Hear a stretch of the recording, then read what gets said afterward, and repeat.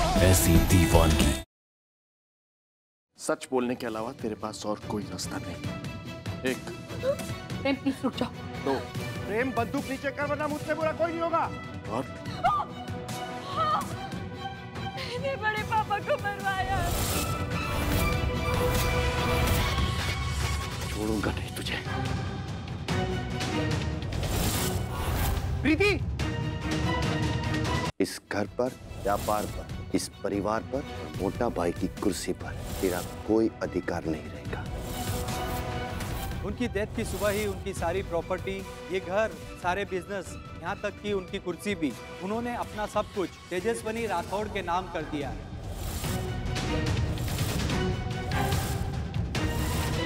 अगर तेजस्विनी के अलावा मोटा भाभी और दीप भाई भी प्रेम के पक्ष में वोट करते हैं तो भी प्रेम के पक्ष में चार वोट होते हैं। मतलब बहुमत हमारे पास। वाह काका वाह। एक ही घर में छत के नीचे बैठकर यहाँ पे बंटवारे हो रहे हमारे होते हुए इस घर को आप नहीं तोड़ पाओगे। मेरे लिए ये परिवार क्या? है ये तू तो कभी समझ नहीं पाए जोरों के गुलाम अब आपकी दादागिरी बर्दाश्त नहीं करूँगा मैं। मारेगा। जिस दिन तूने मूर्ति लगवा दी ना प्रेम उस दिन मैं ये मान जाऊँगा कि तू हम सबको अपना परिवार मानता है और मोटा भाई को अपना पिता। मैंने कहा कि वो लड़कियाँ अगले साल भी कॉलेज जा सकती है लेकिन मेरे पापा की मूर्ति आज ही लगेगी। उन लड़कियों का एक साल बचाना मेरे लिए उस पत्थर की मूर्ति लगाने से ज़्यादा ज़रूरी है।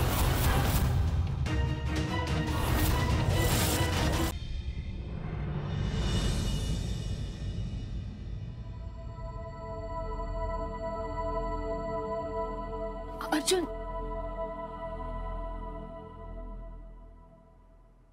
तुम टेंशन मत लो।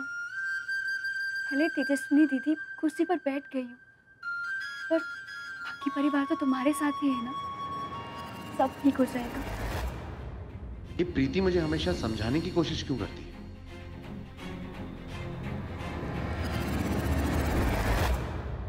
अर्जुन बड़े पापा ने ज़िंदगी भर इस परिवार के लिए, राजपीपला के लिए, कितना कुछ किया है। तो क्या हमारा फ़र्ज़ नहीं बनता कि उनके जाने के बाद हम उनके लिए कुछ करें?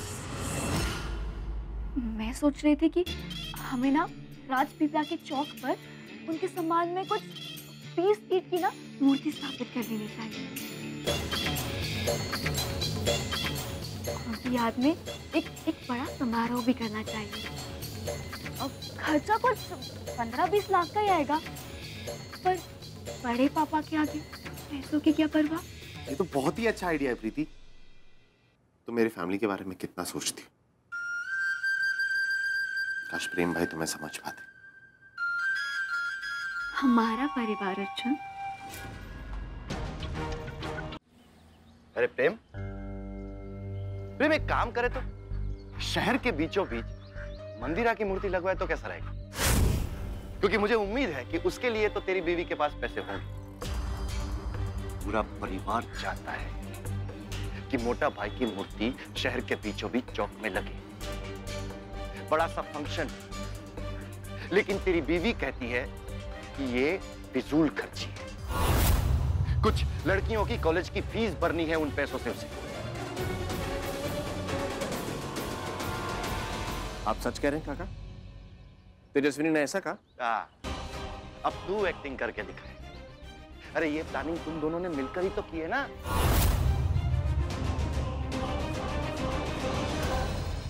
मोटा भाई को कभी अपना पिता माना होता तो आज तुझे ज़रूरी लगता ना उनकी मूर्ति लगवा। काका!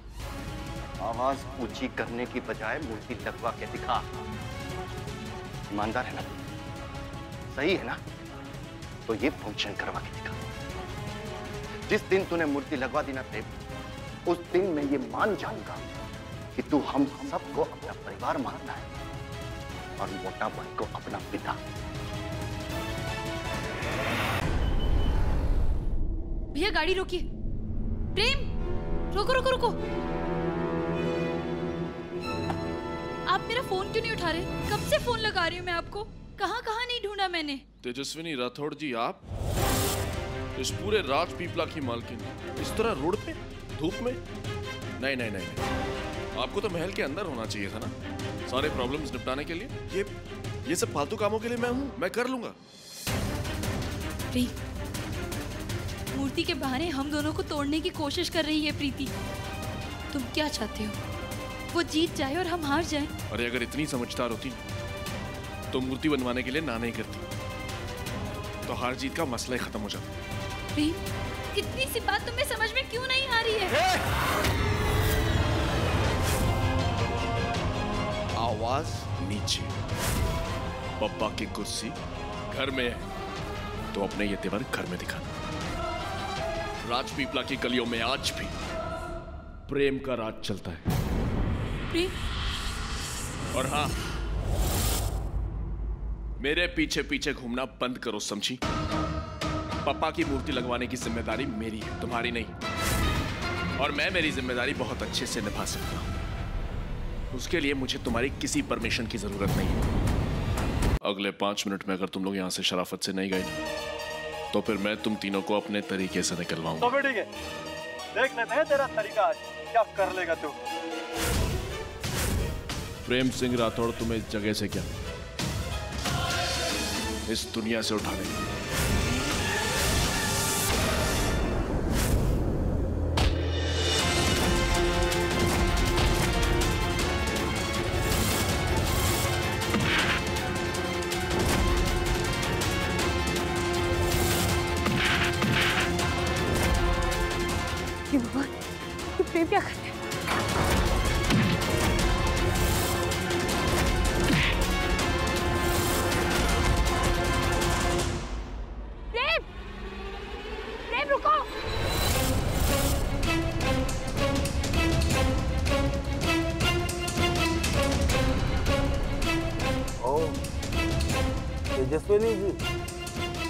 ही इंतज़ार था। खेल तो अब शुरू होगा। पापा ने ये नहीं प्रेम छोड़ो उसे।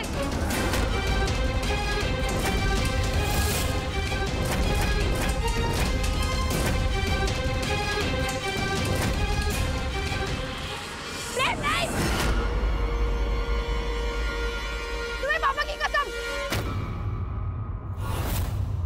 मैं प्रेम सिंह राठौर को अरेस्ट करना है क्योंकि इसने कानून तोड़ा है। और अगर आप कहेंगी तो मैं इसे छोड़ सकता हूँ। एक तरफ़ मेरा पति और एक तरफ़ पापा को दिया वचन ये अम्मे माँ ये कैसी दुविधा है? महा एपिसोड। कल रात तुम यहाँ क्या कर? रही हो आप मुझे याद कर रहे थे तो मैं आ गई आप मैं तुम्हें नहीं याद कर रहा था मैं फुगी को याद कर रहा था। तुम ढूँगी हो भेरू पिया हो तुम चिपक कली हो मैं चिपक कली हूँ ना, तो अब आप चिपक कर लाए क्या कहा तुमने वही जो आपने मुझसे कहा। इसका मतलब तुम प्रज्ञा नहीं हो। क्योंकि अगर प्रज्ञा होती ना तो ये सब नहीं कहती। प्रज्ञा ऐसा ही कहती क्योंकि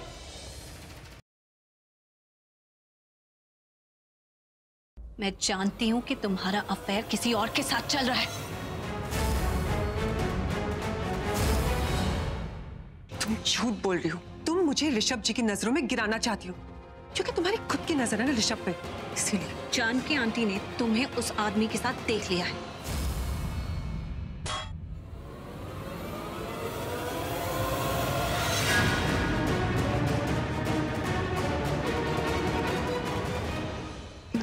इनके से किचन के बाजू में एक स्टोर रूम है। इसे जाके स्टोर रूम में फेंक देते हैं और फिर आग लगा देंगे।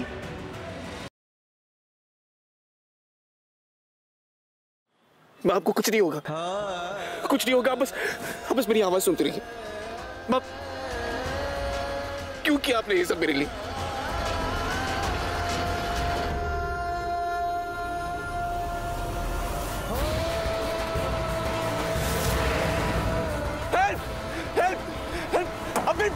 पास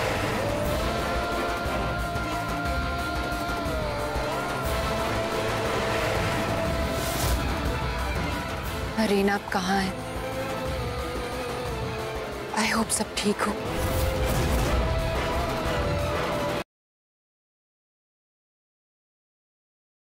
अगर वो आदि नहीं होता तो क्या वो अपनी जान पर खेल कर बाबा साहब की जान बचाता?